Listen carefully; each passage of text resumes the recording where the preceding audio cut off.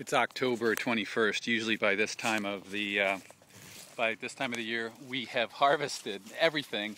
But um, I'm just now checking Shea Vineyard. Uh, about half of our fruit is in, and uh, this is this is what extreme viticulture looks like. You can see um, what we call cluster sovereignty. There's no cluster touching another. I'm down to one cluster per shoot and we've pulled leaves on both sides so that you get plenty of airflow and that cuts down on botrytis.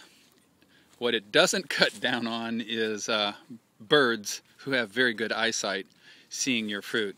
We don't have too much bird damage, but you can kind of see the little places here and here where the berries have been picked away. The birds must have some kind of infrared vision because as soon as the fruit is ready to be picked for wine, about two days before that, they start pecking at it. So we're very close. Um, I'm going to let this hang maybe one more week. The, uh, the forecast here in Oregon is for next week to be sunny but cool. We may take a little bit of um, rain, trace amounts over the weekend, but hey, we're Oregonians and we don't feel comfortable unless our fruit is properly washed before we vinify it.